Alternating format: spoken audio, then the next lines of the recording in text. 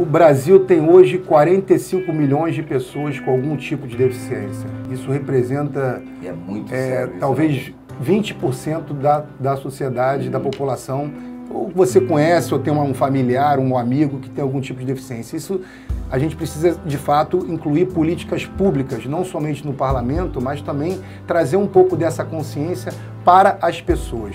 Eu, quando eu estive em Brasília, eu tive a oportunidade, juntamente da deputada, hoje senadora Mara Gabrini, ser autor e eu relator do projeto que criou a Comissão das Pessoas com Deficiência no Parlamento.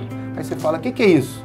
Nada mais é do que todo o assunto correspondente a essa pauta, todo o debate, todo o projeto de lei, ele acaba passando nessa comissão. Existiam 23 comissões na casa, a gente conseguiu instalar essa 24ª comissão, que a gente cons consegue semanalmente conversar sobre esse assunto de forma prioritária no parlamento. E quando a gente faz essas conquistas inovadoras, é o que eu digo, a gente consegue levar esse exemplo que foi positivo para o parlamento também para os para todos os municípios e estados do Brasil que não tinham, muitas das vezes, dentro das suas câmaras municipais, é, Câmara de Vereadores e Assembleias Legislativas, é, comissões que discutiam essa temática, que é uma temática tão importante hoje na sociedade. Sou 4, 4, 8, 8.